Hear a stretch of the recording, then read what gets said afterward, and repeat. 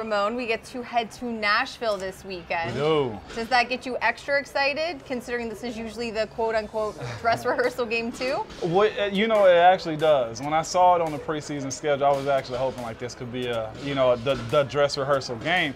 I enjoy going back home and playing. There's a lot at stake there. You know, personally for me, I live there. You know, I, I might have to see those guys in the mall in the store one day. So I need something to be able to tip my hat to. Will you get a chance to see family or friends who are down there before, you know, focusing on the game? Yes, I, I will, but I always try to keep it at a bay. I, I got like 40 tickets. Oh, wow. So yeah, it's a good bit of people coming, but that's the fun part about it is being able to, you know, have your, your people, your family being able to see you live like that. A lot of people don't get that opportunity, so it's, it's, it'll be cool. All right, it is the, uh, I think, standard question this week for all the starters.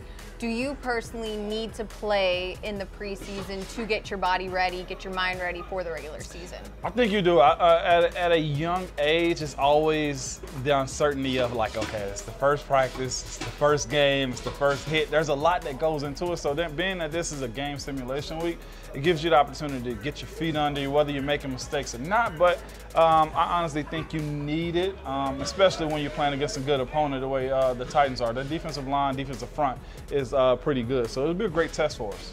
Maurkice Pouncey said he's excited just for the five of you to be out there together. You have to agree, right? I do agree with that. Right now, you get a chance for guys to settle into positions. The third game, unless that's like a huge battle going on, you see who's going to be your guys you're rolling with. And like you say, to have the five of us up front, also to get Ben, get the receivers.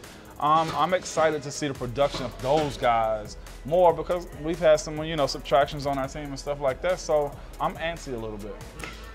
Randy Fichtner told me that it's not that they need to see Ben out there, it's that they want to see Ben out there with other guys. Do you feel like maybe some of these young receivers or new pieces are anxious to get out there to maybe prove themselves with Ben in a stadium on the field? Yes, yes, absolutely.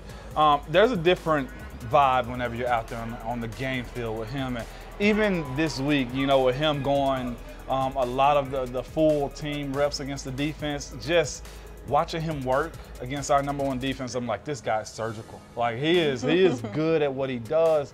And to see this live with uh, a group of young guys like Moncrief and just across the board with having Conner back, um, I think they are ready for that.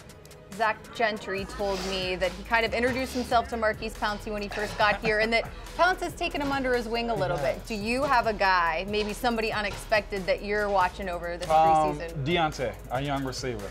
I, uh, I, have drawn to that kid, and he's to me. I was just talking to him on the practice field. I just like to check on him. I think he's going to be a special talent here. Um, he's got his head on right. He's he's got a lot to prove. A small school guy, um, a higher draft pick. That's he's he's wanting to leave a mark. He's the guy that I'm I'm high on right now. All right, thanks, Ramon. Thank you.